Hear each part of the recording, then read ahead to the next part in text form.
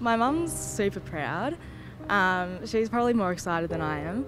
Um, she took me out for um, lunch and she put on the like the special um, consider on the booking website that I'd made the team, even though I wasn't supposed to be telling people.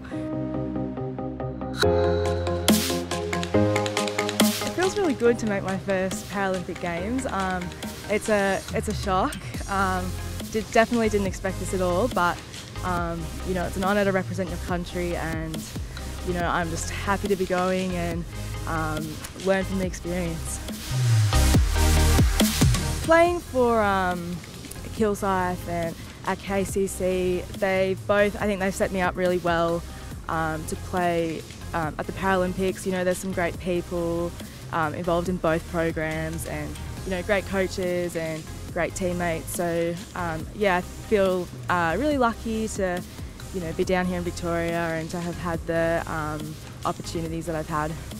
I mean, you know, there's a lot of people to thank that um, you know have you know invested in me and helped me um, get here. You know, my coaches and uh, my family and my friends. So yeah, I'm just really grateful for everyone and you know the guys here as well. Um, you know, I was definitely a little bit intimidated to be training with, you know, players who were a lot faster and more skilled than I was, but I think they've really taught me a lot um, and pushed me. So, yeah, I'm really grateful that I get to train with them.